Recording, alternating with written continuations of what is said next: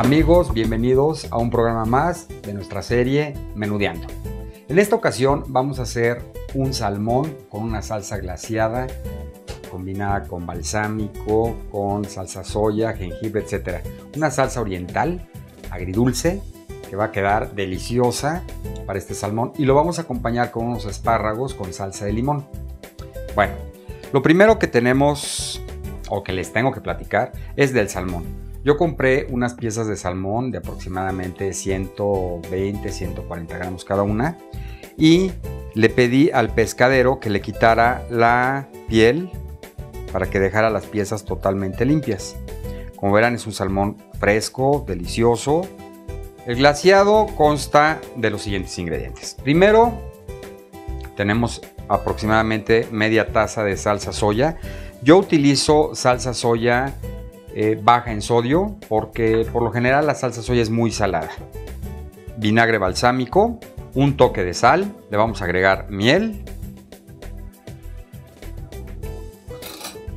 En este caso es miel de abeja. Esta no la pueden sustituir por miel de maple, Por favor, pónganle miel de abeja que es que le da un toque muy muy especial. Unas dos cucharaditas de azúcar moscabado. Y finalmente le vamos a poner, digamos que será una media cucharadita, de media cucharadita o una cucharadita de aceite de ajonjolí. El aceite de ajonjolí va a aromatizar la salsa de una manera extraordinaria. Pero le tiene que poner poquito, porque con poquito aromatiza totalmente la salsa. Luego le vamos a agregar ajo picado, en unos, digamos, un picado fino. Pero sí me interesa que los trocitos de ajo se perciban en la salsa. Lo agregamos. Y por último le vamos a agregar jengibre. Tenemos toda la pieza perfectamente bien limpia, sin cáscara. Lo que hago es compro, que será una vez cada dos meses, unas raíces de jengibre. Y lo que hago es así como las compro en la bolsa le hago un nudo a la bolsa y la meto directamente al congelador. Y cada vez que necesito jengibre, pues nada más saco la pieza, pelo lo que necesito, lo utilizo y totalmente el sabor no se altera ni mucho menos. Bueno, ya tenemos la pieza y lo que vamos a hacer es rayar un poco de este jengibre, que será, calculenle ustedes una cucharada, cucharada y media. El jengibre le va a aportar un sabor eh, digamos como de cítrico. El jengibre tiene un sabor muy característico, es, una, es uno de los condimentos más utilizados en la cocina asiática. Realmente el jengibre eh, lo utilizan para casi todas sus salsas. Y en este caso, como nuestra salsa es, digamos, con un toque asiático, no podía faltar este ingrediente. Bueno, ya le, le agregamos el jengibre lo que procede ahora es sobre la estufa a una lumbre media, media alta. Lo vamos a dejar reducir la salsa, que en este caso va a ser el glaciado para nuestro salmón. Revolvemos todo perfectamente y lo dejamos ahí solito que hierva, que todos los ingredientes que le pusimos se infusionen, que todos suelten su sabor, sus aromas y se concentre. Imagínense cómo vas a ver el salmón con esta salsa. Bueno, ahí lo dejamos tranquilito a que se vaya evaporando, a que se vaya reduciendo.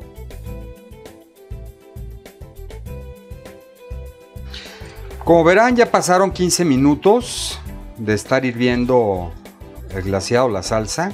Vean, chequen por favor la manera y la forma de las burbujas.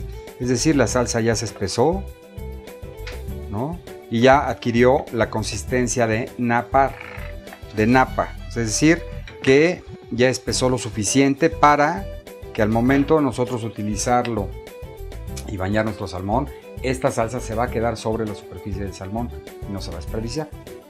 ya apagamos la lumbre y procedemos a hacer los espárragos.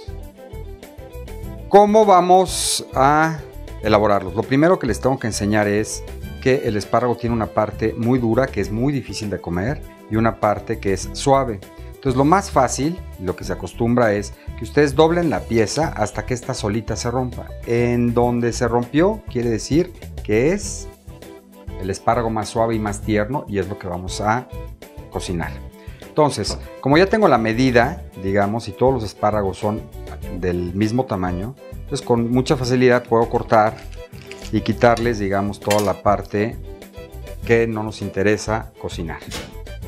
Entonces ya tenemos estos espárragos y lo que yo les aconsejo todavía aún más para que queden más tiernos es pelarlos, nada más quitarles una parte para que queden, digamos, del mismo grosor toda la pieza. Y ya, como verán, nos quedaron todos uniformes muy bonitos, muy bien formados. ¿Sí? Y bueno, lo que vamos a hacer a continuación es, en una sartén bien caliente, vamos a agregarle un chorro de aceite de olivo y también le vamos a agregar mantequilla. Agregamos los espárragos, que esté bien caliente la sartén. agregamos un toque de sal me interesa que los espárragos queden crujientes, es bien importante. No me gustan los espárragos cuando están totalmente cocidos porque pierden cuerpo, obviamente pierden todo el sabor. hay gente que le gusta cocerlos en agua, a mí me gusta hacerlos como lo están viendo ustedes en una sartén.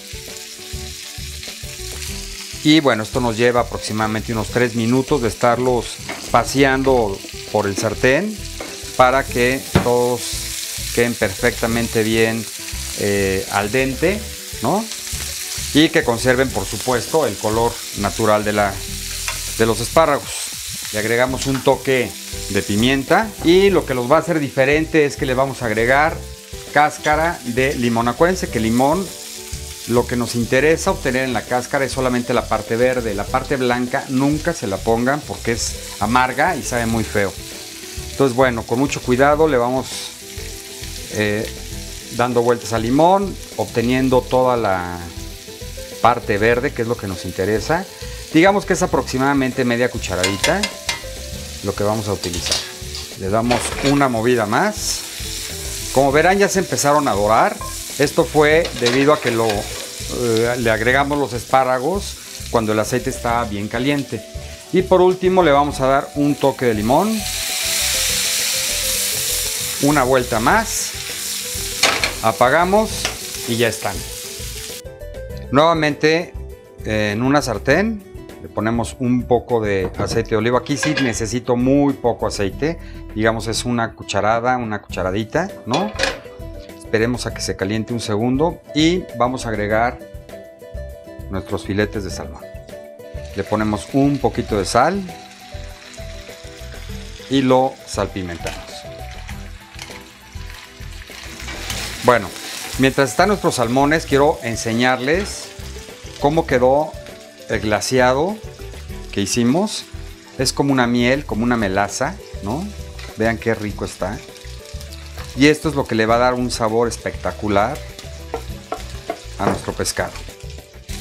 Bueno, en este punto volteamos el filete, vemos que ya está dorado perfectamente y lo que vamos a hacer es agregarle, vean más que delicia, lo distribuimos perfectamente para que el salmón comience a tomar todo el sabor de la salsa soya, del jengibre, del ajo. Si ustedes pudieran estar en mi cocina, sin duda harían la receta.